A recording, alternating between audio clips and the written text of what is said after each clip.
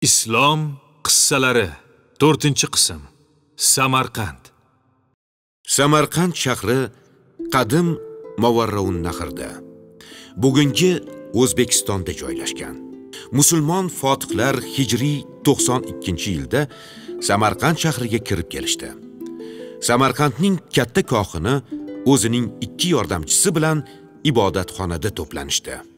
Qo'rqib yurgan narsamiz boshimizga keldi yurtimizga musulmonlar kirib kelishdi Endi bizga hech qanday manfaat qolmaydi. Endi biz dunyo-yu din ishlarida odamlarga kerakmas bo'lib qoldik. Endi obro'yimiz ham haybatimiz ham tirikchiligimiz ham tamom bu kunlarni ko'rguncha o'lib ketsam bo'lmasmidi Musulmonlar bizdan oldingi shaharlarni ham xuddi shunday egallab olgan. Yo'q, ular ilgari yo musulmon bo'linglar, yo jizya to'langlar. Aks holda urush qilamiz deyishardi. Unda nega Samarqandga indamay kirib kelishdi?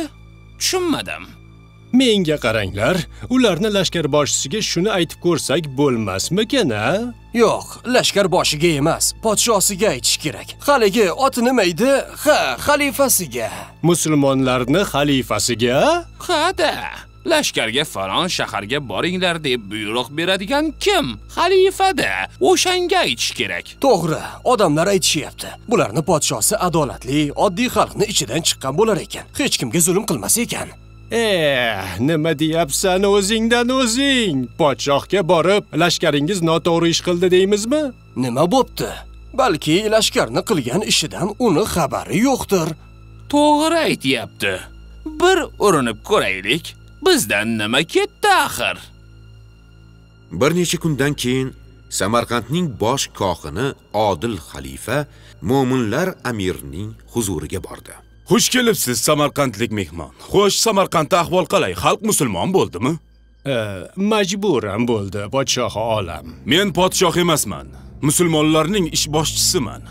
Musulmonlar shaharlarni qurolni kuchi bilan bosib olyapti. Bosib olayotganimiz yo'q. Balki toshga, yog'ochga sig'inib yurgan xalqqa Allohni tanityapmiz. Buni bosib olish emas, fath deyiladi. Xalqni zulmdan, zolimdan qutqaramiz. Baribir keyin o'sha dinga majbur qilasizlarmi axir? Yo'q, majbur qilmaymiz, taklif qilamiz. Musulmon bo'lishsa olam guliston. Agar bosh tortsa, o'zining dinida qolaveradi. Unda nega musulmon bo'lmaganlarni jizya to'lashga majbur qilasizlar? Chunki endi ular ham bizning fuqaromiz hisoblanadi. Ularning haq-huquqlarini ta'minlaymiz, dushmanlardan himoya qilamiz. Jizya berganlar ham musulmon bilan teng huquqli fuqaro hisoblanadi. Xo'sh, jizya to'lamasa-chi? Unda kuch ishlatamiz, majbur qilamiz. Juda yaxshi. Xo'sh, unda nega lashkarboshingiz Qutayba ibn Muslim Samarqandga to'g'ri kirib keldi? Yo musulmon bo'linglar, yo jizya to'langlar demadi. Axir shahrimizni bosib oldi-ku. Gapingiz rost bo'lsa, hoziroq qoziga odam jo'nataman. Qutayba ibn Muslimni ham mahkamaga tortaman. Lashkarboshi bariga o'zi bosib olgan shaharning oddiy fuqarosi bilan qozisining oldida javob bera oladimi? Ha, islom dini odam ajratmaydi. Payg'ambarimiz sollallohu alayhi va sallam bizga shunday ta'lim berganlar. Qozi lashkarboshidan qo'rqib, uni tomonini olsa-chi? Yo'q, qozilikka faqat Allohdan qo'rqadigan odam qo'yiladi. Qonun hamma uchun barobar.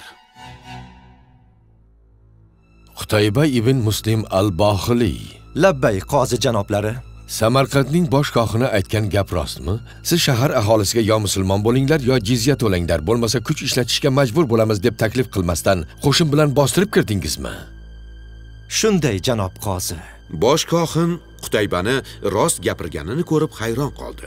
Chunki u yo'q, u menga tuhmat qilyapti deb o'zini oqlasa kerak deb o'ylagan edi. Nima uchun bunday bo'ldi? Qoida bo'yicha shaharni fath qilishdan oldin uning aholisiga shu uch narsani taklif qilish kerak edi-ku. Ha, to'g'ri. Lekin Samarqanddan oldingi birorta shahar aholisi islomni ham, jizya to'lashni ham tanlamay jang qilgan edi. Samarqandliklar ham shunday qilsa kerak deb o'ylabman. Shuning uchun tanlash ixtiyorini bermay kirib boraverishga qaror qildim, qozi janoblari. Tushunarli. Demak, aybingizga iqrorsiz. Bu sizga qarshi hujjat uchun yetarli bo'ldi. Qozi janoblari, hozir uning ustidan hukm chiqarasizmi? Ha, albatta. Nega? Ayblanuvchi xatosini tan oldi. Xayrli ishni kechiktirib bo'lmaydi. Qo'mondon Qutayba ibn Muslim hukm shunday: darhol musulmon qo'shinini olib Samarqanddan chiqib ketasiz. Yana fath qilishga buyruq berilsa, avval yo musulmon bo'lish, yo jizya to'lashni taklif qilasiz. Aks holda kuch ishlatilishi haqida ogohlantirasiz. Rostdanmi? E, qoyil. Juda ajoyib hukm bo'pti-ku. Adashmayapsizmi? Musulmonlarning qozisi o'zining musulmon qo'mondoniga bosib olingan shahardan chiqib ketinglar deb buyruq berdimi? Bo'lishi mumkin emas. O'z ko'zim bilan ko'rib, o'z quloqim bilan eshitmaganimda, o'zim ham ishonmagan bo'lardim. O'zlarini qozisi o'zlarini qo'mondoniga shunaqa hukm chiqardi. Buni qaranglar a. Bizda kim qo'mondon bo'lsa, qozi ham o'sha bo'ladi-ku axir. Bu qanaqa din bo'ldi, og'aynilar? Xalifa buyruq bersa, qozi hukm chiqarsa, qo'mondon g'ing demay bo'ysunsa, Qani g'ing demay bo'ysungani? Qani edi bo'ysunsa? Bu nima deganing? Musulmonlarni qo'shini hali ham Samarqanddan chiqib ketgani yo'q-ku. Shuncha katta qo'shin bir kunda chiqib ketarmidi? Samarqanddan chiqib ketish uchun bir necha kun kerak bo'ladi. Menga qaranglar, xo'p, chiqib ketdi ham deylik. Lekin shuncha o'ljasini, shuncha boylikni tashlab chiqib ketarmikan?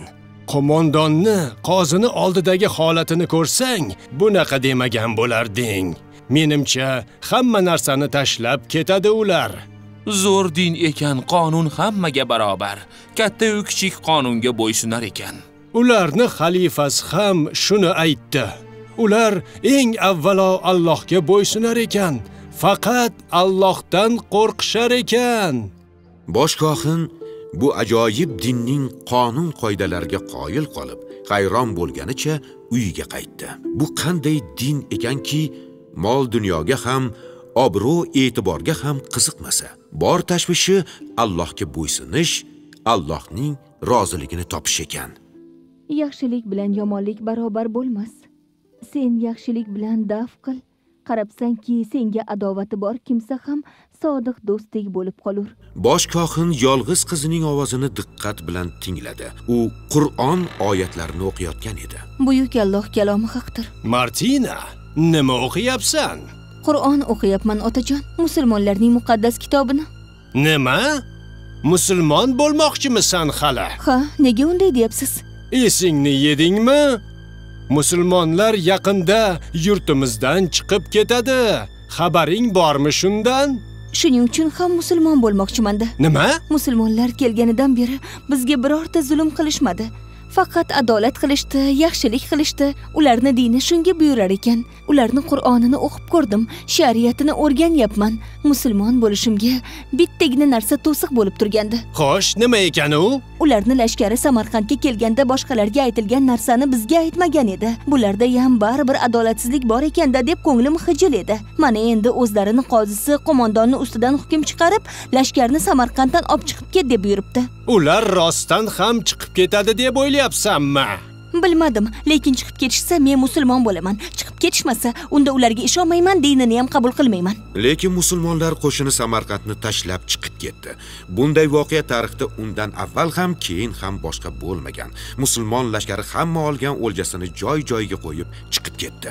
Nimalar bo'lyapti o'zi? Odamlar qayerga ketdi? Hamma musulmonlar chiqib ketganiga xursand bo'lib bayram qilyaptimi deyman. Albatta, bizni odamlar musulmonlar qozini hukmi bilan tayyor egallab olgan shahardan chiqib ketmasa kerak deb yurishgan edi. Bu yog'i chatoq bo'ldi-ku. Bizni ahvolimiz nima bo'ladi endi?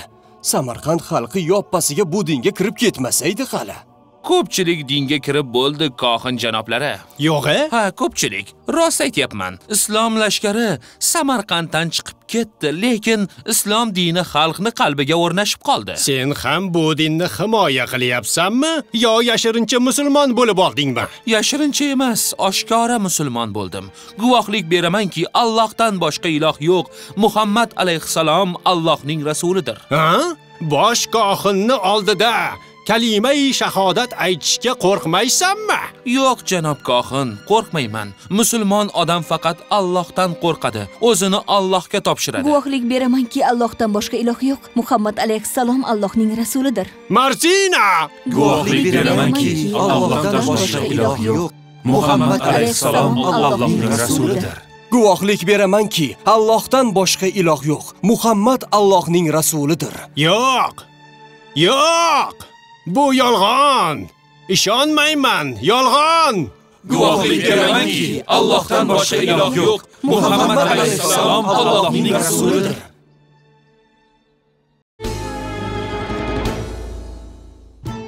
Film islom.uz portali buyurtmasiga asosan dublyaj qilindi. Tarjima va ovozlashtirish ishlarini Qur'on.uz sayti xodimlari amalga oshirdi. Loyiha rahbari Ismoil Muhammad Sodiq, prodyuser Abdulvohid Sattiyev, tarjimonlar Olimxon Qodirov, Iskandar Ashurov, badiiy muharrir Ozod Munavvar, ilmiy muharrir Akmalxon Mirhamidov, video montaj ustasi Bekjon Mahmudov, ma'mur Ahror Yahyoyev, ijodiy guruh rahbari Hasanxon Yahyo Abdulmajid. Filmda Shayx Muhammad Sodiq Muhammad Yusuf hazratlarining Qur'oni Karim va o'zbek tilidagi ma'nolar tarjimasi kitoblaridan foydalanildi. Dublyajda aktyorlardan Boyir Xolmirzayev, Beg'zod Muhammad Karimov, Barno Qodirova, Iroda Ahmedova, Ahror Alijonov, Bobur Do'stmatov, Nuriddin Do'stbekov, Isabek Mastonov, Ixtiyor Otajonov, Jamoliddin Abdujabborov, Hulkar Boriyeva, Gulruh Pirnazarova hamda Oybek Tohirov ishtirok etishdi. Dublyaj rejissyori Ulug'bek Shoynazarov, ovoz rejissyorlari Bobur Omonov, Oltinbek Ubaytov. 4-qism tugadi.